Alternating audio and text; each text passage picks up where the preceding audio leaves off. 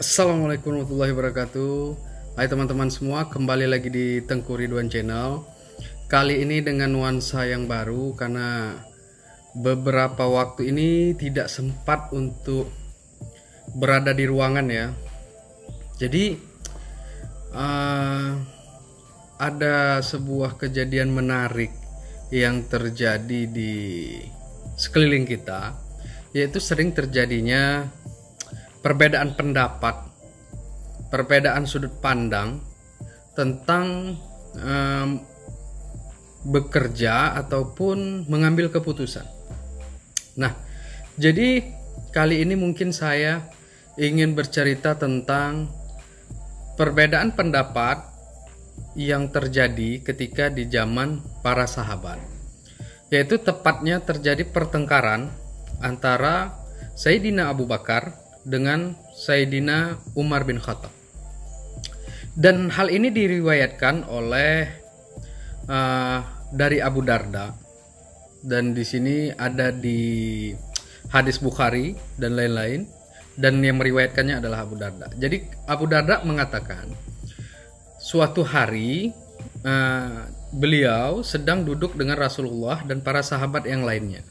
Dan kala itu Abu Bakar datang ke majelis Rasulullah dengan cara agak sedikit berlari, mempercepat jalannya uh, sambil mengangkat sedikit uh, pakaiannya sampai ke betis. Jadi seperti buru-buru ya kalau kita anggap ya kita seperti pakai kain sarung dan ingin berjalan cepat. Jadi kita tarik sedikit sampai nampak betis kita untuk menghadap Rasulullah Shallallahu Alaihi Wasallam.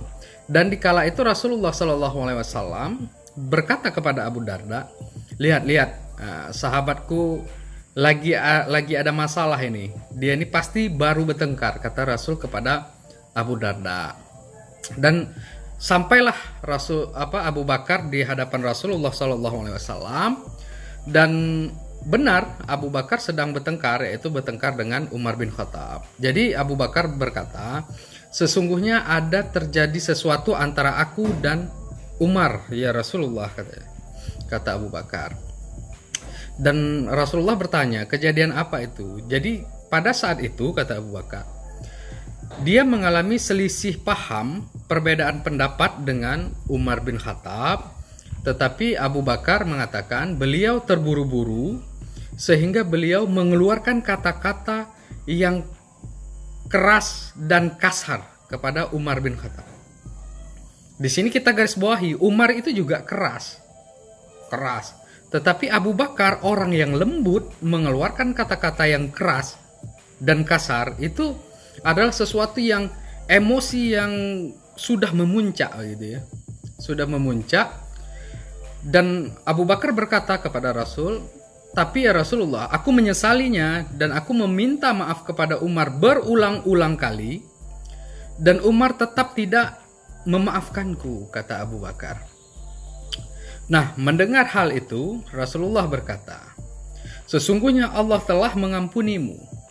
Sesungguhnya Allah telah mengampunimu. Sesungguhnya Allah telah mengampunimu sebanyak tiga kali kepada Abu Bakar. Karena Abu Bakar telah meminta maaf kepada Umar, tetapi Umar tidak memaafkannya. Di situ. Itu satu satu poin. Dan poin yang kedua ialah Umar bin Khattab juga menyesal karena tidak memaafkan Abu Bakar. Umar orangnya gentle. Dia datangi rumah Abu Bakar. Abu Bakar orangnya ini kan halus. Jadi beliau memutuskan untuk ke majelis Rasulullah meminta pertengahan daripada Rasulullah Shallallahu Alaihi Wasallam. Umar langsung mendatangi rumah Abu Bakar pada waktu itu. Dia menyesal juga karena tidak memaafkan sahabatnya. Jadi ketika beliau datang ke rumah Abu Bakar, di sana Abu Bakar sudah tidak ada. Lalu Umar berkata, kalau nggak ada di rumah ya pasti dia sedang bersama Rasulullah di majelisnya Rasulullah dan tanpa pikir panjang Umar langsung menuju majelis Rasulullah.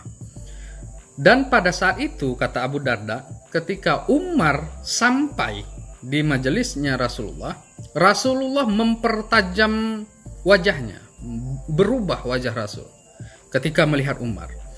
Dan pada saat itu Abu Bakar yang di dekat Abu Darda mengatakan, Ya Allah, kenapa aku ngadu ke Rasul tadi?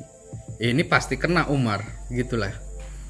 Menyesal Abu Bakar. Dan pada saat Umar sudah mau mendekat, Rasulullah berdiri dan wajahnya menampakkan uh, kemarahan kepada Umar dan Abu Bakar langsung berlutut di hadapan Rasulullah Sallallahu Alaihi Wasallam dan mengatakan, Ya Rasulullah, aku yang salah, aku yang zalim, aku yang salah, aku yang salah kata Abu Bakar.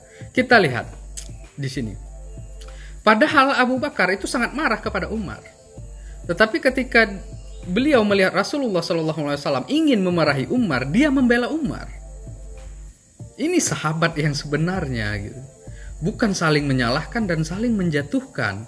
Dan senang ketika melihat sahabat kita itu di dalam kondisi yang dipersudutkan, disudut-sudutkan gitu kan, atas kesalahannya.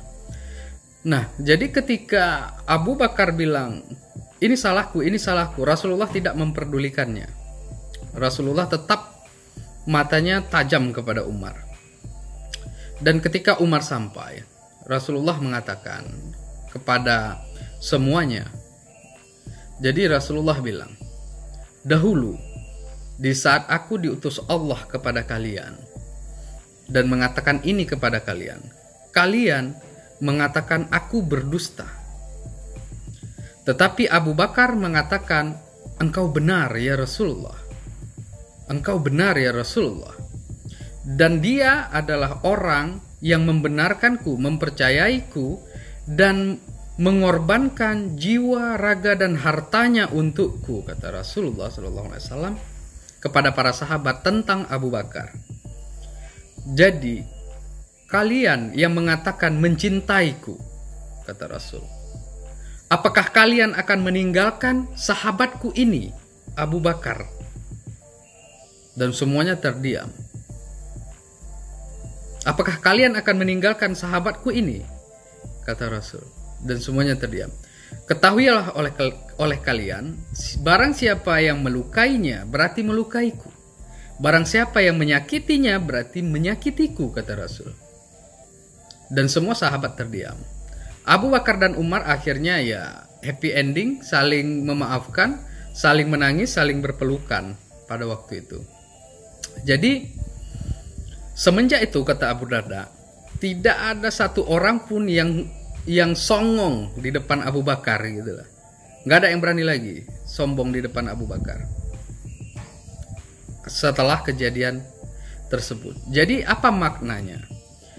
Perbedaan pendapat, perbedaan sudut pandang yang terjadi di antara kita itu sah-sah saja baik di dalam rumah tangga, baik di dalam uh, usaha, baik di dalam ruang pekerjaan, sah-sah saja perbedaan pendapat.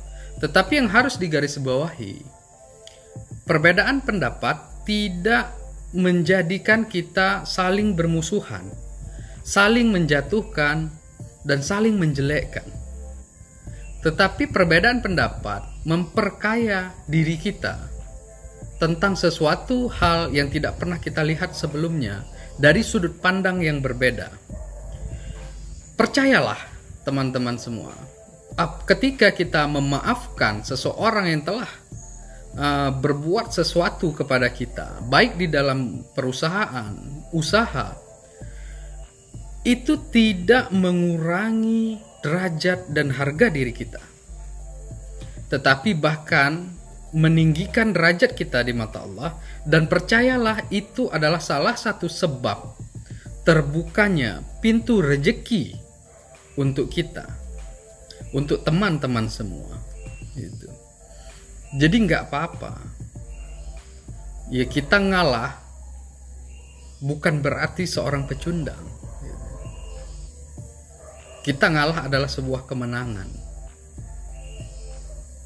Coba bayangkan kalau ada sebuah perusahaan yang orang di dalamnya itu beribut, berebut, bisa dipastikan perusahaan tersebut tidak sehat dan tidak akan maju. Gitu. Jadi itu tadi, perbedaan pendapat ya sah-sah saja. Tetapi jangan dijadikan itu sebagai permusuhan, menjelek-jelekkan, menyudut-nyudutkan gitu. Tapi bentuk sebagai persaudaraan dan kayanya sudut pandang di dalam sebuah organisasi ataupun perusahaan itu sendiri gitu. Nah, mungkin itu saja dari saya untuk kali ini. Uh, lebih dan kurang saya mohon maaf. Saya akhiri dengan wabillahi taufik wal hidayah. Assalamualaikum warahmatullahi wabarakatuh. See you.